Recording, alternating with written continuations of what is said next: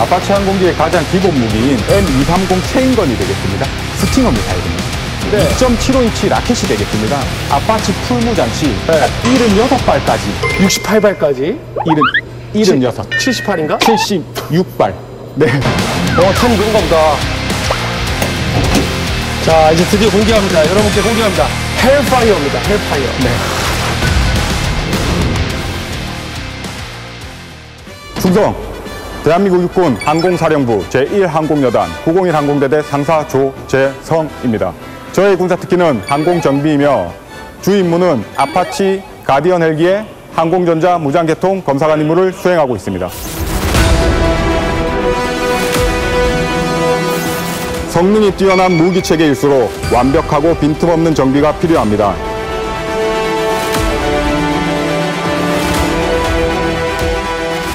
하늘에서 작전을 수행하는 헬기의 경우에는 더 말할 필요성이 없을 것입니다.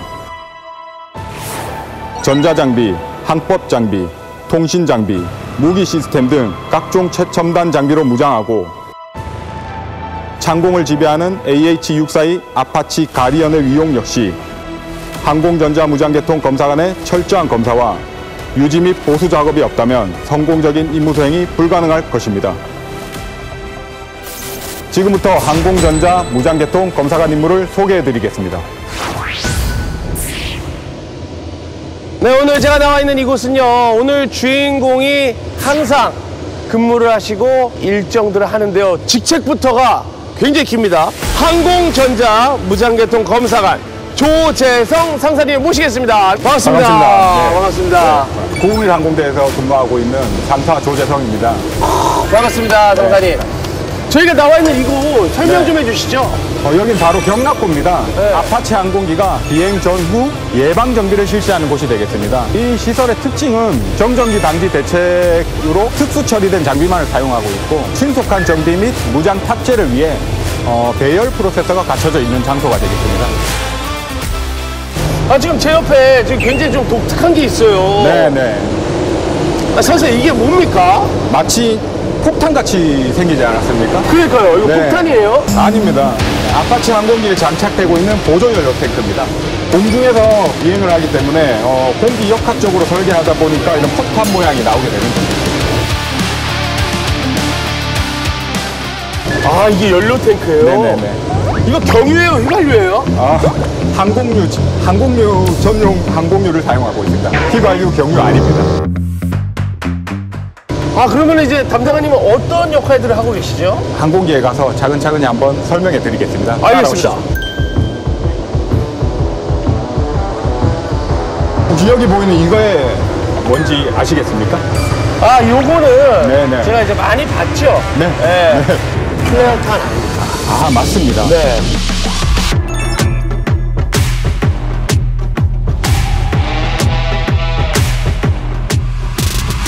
제가 군사 특기를 1년이 넘었습니다. 아, 네 네. 그럼 그 뒤쪽에 보이는 저 장비는 뭐일 것 같습니까? 이게 전방, 네. 이게 후방 flare 탄, flare탄. 아, 아닙니다. 아, 그래요? flare탄 네. 쏘는 장비가 되겠고, 네. chaff탄을 쏘는 장비가 되겠습니다. chaff탄? chaff. chaff? 네. 여기 보시면 chaff dispenser라고. 어, 그러네요. chaff탄을 쏘는. 아니, 어떻게 다른 거예요? flare 같은 경우에는 네. 적의 열추적 미사일을 교란시키는 탄이고, 여기 보이시는 chaff는 적의 레이더를 교란시키는 탄이 되겠습니다. 아, 이건 미사일을 막아주는 네. 거고, 이건 레이더를 막아주는 네네. 거고. 오, 확실히 다르네요. 네. 확실히 기능은 다릅니다. 오, 그러면 항공전자 무장계통 검사관이시잖아요. 네네. 그럼 주된 임무는 어떤 임무를 하시는 거예요? 첫째로 여기에 장착되어 있는 모든 화기들을 다 정비를 하고 있습니다. 어, 그리고 기존의 화기들은 그냥 기계식이 아니라 전자장비와 연동되기 때문에 네. 전자장비도 같이 정비를 하고 있습니다. 아니, 그러면 이제 상사님께서 무장을 책임진다고 하셨잖아요. 네, 맞습니다. 그러면 어떤 무장을 하는 건지 저에게 좀 네네. 디테일하게 보여주시죠. 네, 그러면 저를 따라오시죠. 오, 알겠습니다.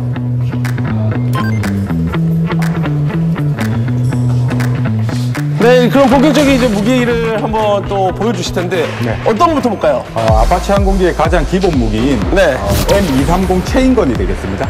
아 이거 이거 지난주에 봤습니다. 이거 고개를 돌리면 네네. 따라가고.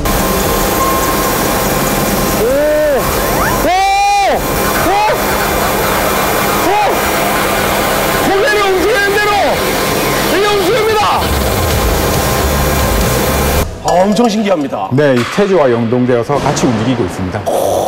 연사 속도가 총 625발이 되겠습니다. 분당. 그리고 30mm 탄을 사용하기 때문에 네. 기관포로 분류되고 있습니다. 아, 포예요? 네, 탄이 구멍이 좀 작아 보이는데? 음, 제가 한번 직접 보여드리겠습니다. 아, 좋습니다. 어, 보면은 좀 커야 되는데 구멍이 그렇게 크진 않거든요. 오, 와 이게 그러면 실탄? 아, 아닙니다. 모의탄입니다. 아, 모의탄이에요? 네네. 오, 무게는 똑같다고 보시면 됩니다. 아니 이거 그러면은 한 몇 발 정도 나가요? 어, 분당 625발을 연사할 수 있고 아파치 항공기에 총 1200발까지 장전이 가능합니다. 아니 어디다가 장전해요? 장전할 데가 안 보이는데? 아, 여기 보시면 네. 여기 보시면 이렇게 쭉하게 튀어나와 있지 않습니까? 네. 여기에 장- 전자장비들이 다 들어가 있습니다. 아.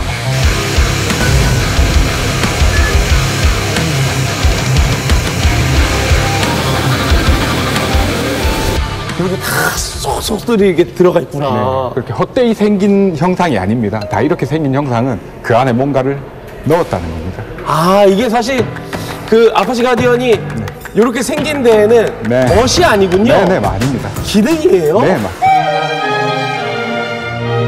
아, 이번에 소개해 주실 건 어떤 겁니까? 어, 다음으로 소개할 무기는 네. 스팅어 미사일입니다. 스팅어 미사일. 유효 사거리가 6km이고 6km.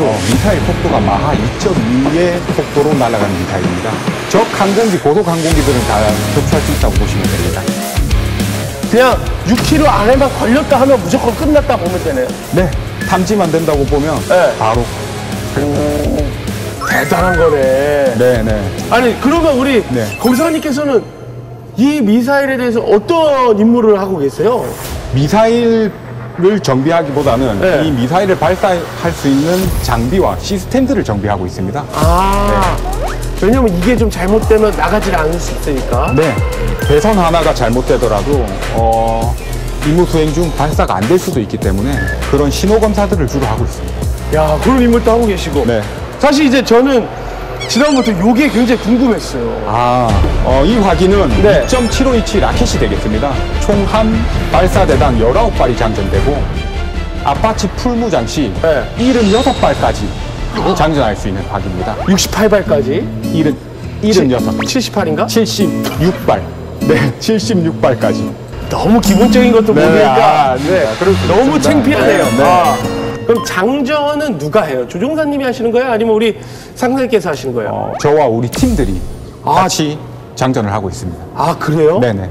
아, 진짜 조종사는 플레이어고 진짜 코치님이시네. 네, 맞습니다. 네. 그럼 제가 지금 장전을 한번 해볼 수 있을까요? 아, 아쉽지만 네. 어, 로켓은 장전할 수 있는 모의탄이 없습니다. 아, 네. 아 해보고 싶었는데. 아, 그래서 범균 씨를 위해서 네. 따로 준비한 게 있습니다. 어, 뭐예요? 어, 바로 뒤에 보이시는 헬파이어. 네, 해봐요. 네, 지금 비어 있지 않습니까? 그죠, 그죠? 헬파이어 모의탄을 장전까지 오늘 훈련을 한번 해보겠습니다. 오, 제가 헬파이어를 한번.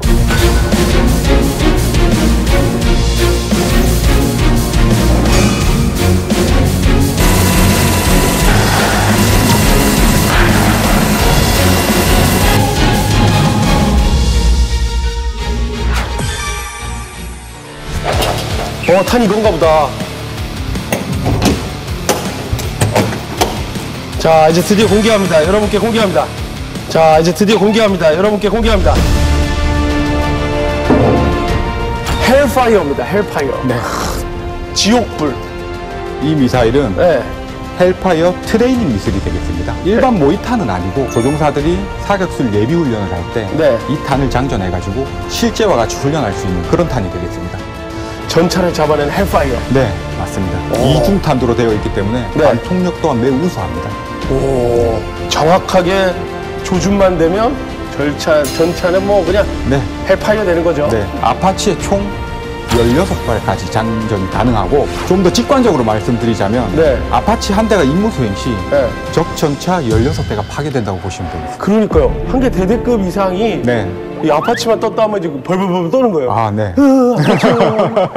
자, 그럼 우리 한번 달아볼까요? 네, 네. 이거는 실탄과 같이 취급해야 되기 때문에 네. 저희 팀원과 네. 같이 장전을 하고 범균 씨는 옆에서 조금 support만 해주면 되겠습니다. 알겠습니다. 저는 네. 그러면 서포터를 해보겠습니다. 자, 한번 들어볼까? 네. 들어와요. 다시 이제 여기서부터는 이제 제가 하면 큰 사고가 날 수 있기 때문에 네. 자. 아 근데 사실 여기가 좁아요 굉장히. 어 이게 넣는 것도 고난이도의 기술이 필요합니다. 진짜 여기 굉장히 좁기 때문에 자 걸렸습니다 걸렸습니다. 네, 지금 헬파이어 한 발이 장전이 됐습니다. 아 이렇게 되면 이제 헬파이어 장착이 완료군요. 네, 그렇습니다. 이 앞에가 여기 여기 뭐예요 이게? seeker라는 부분인데 코드화된 레이저 신호를 추적하는 아. 장치가 됩니다. 그러니까 미사일 추적 장치네요. 네, 맞습니다. 그러니까 목표물 정하면은 얘가 이제 쭉 따라가는 거네. 아, 네, 맞습니다. 아니 지금 제 느낌에는 16발이 가능하다고 하는데 여기에 4발, 저쪽에 4발, 8발이 끝인데 어떻게 16발이 돼요? 작전 컨셉에 따라서 네. 화기의 이런 컨셉도 바뀝니다. 아, 어, 대전차 작전을 하게 되면은 어, 로켓 launcher를 제거하고 아. 헬파이어 launcher를 장착하게 됩니다. 음. 그러면 총 4개의 헬파이어 launcher가 그러네요. 장착돼요. 4, 4, 16. 아. 야, 선생님하고 이게 저희가 이야기도 나눠보고 네. 그 다음에 달아도 보면서 네. 진짜 장인의 냄새가 났어요. 아, 감사합니다. 한몇몇 년 되신 거예요? 어, 올해로 19년 차입니다. 진짜 장인이십니다. 아, 과찬이십니다. 아니 한 분야에 10년이 넘어가면 그때부터 장인이라고 하는데 네. 어때요? 장인도 직접 화기를 다루다 보니까 긴장될 때가 좀 있을 것 같아요. 항상 이런 장비들을 장착하고 나서 MOC라는 절차를 거치는데 네. 어, 이 MOC를 통과하지 못하면 아파치 항공기는 비행을 할 수가 없습니다. 어, 그렇기 때문에 MOC를 하는 순간이 자연스럽게 긴장이 되는 순간입니다. 아, 네. 괜히 내가 정비를 잘 못하면 아, 네. 우리 조종사가 출동을 할 수 없기에 네. 그리고 우리 팀원들이 네. 다시 이 일을 해야 아, 되기에 네. 다시 정비해야 되기 때문에. 네. 마지막 질문인데요. 네. 본인만이 느낄 수 있는 군flex가 있다면 어떤 게 있어요? 지금 현재 이 아파치 항공기는 음, 최첨단 장비로 만들어진 결합체입니다. 이 고가치 무기 체계를 능수능란하게 다룰 수 있는 노련함이 저의 자부심이 아닌가 그렇게 생각하고 있습니다. 이 최고의 기계를 19년이라는 생활 동안 노하우를 한 해 한 해 켜켜이 쌓아 오셨잖아요. 네. 그 노하우와 그 자부심으로 네. 대한민국을 아파치와 함께 쭉 지켜주시길 부탁드리겠습니다. 네, 알겠습니다. 오늘 함께 해 주셔서 진심으로 감사합니다.